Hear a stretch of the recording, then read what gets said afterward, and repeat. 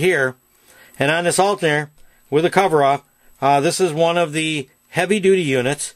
And this heavy duty unit, you'll notice this one has a copper heat sink where a standard unit has a aluminum heat sink. Here is a uh, standard type bridge rectifier and the positive heat sink on this is aluminum and as well the other advantage of it is it has higher amperage and voltage rated diodes the copper heatsink, the larger battery stud is silver soldered right into the positive rectifier. Where on a standard alternator.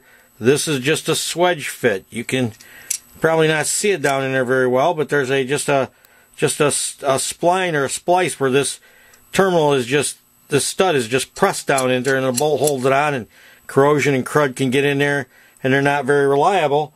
Where the silver soldered unit, those things are super, super tough with a copper heat sink. That's what makes this thing so much better.